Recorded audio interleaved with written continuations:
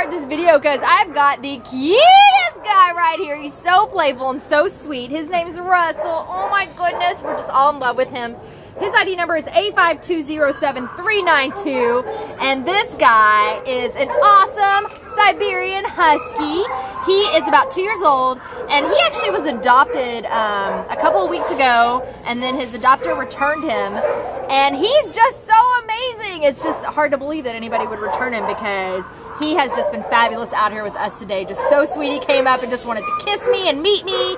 Um, on a leash, he's kind of like the typical husky. He wants to go explore and do his own thing, but not too hard to handle. Look at that. What an affectionate boy.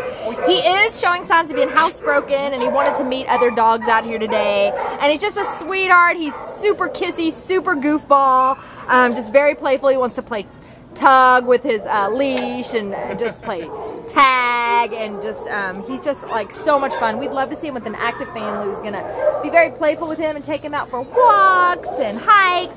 Turn that butt around so I can see that face. Oh, he just wants to lick. So as you can see, super affectionate boy Russel here, and we would love to see him get a great home because he is so deserving. Look at those beautiful blue eyes. Bye bye, Russel. We love you. Oh, and before I leave, he's only 52 pounds, so he's a really nice medium-sized dog. Hey, bye, Russel. Look at those cute freckles. Hey, we love you. Bye bye, buddy.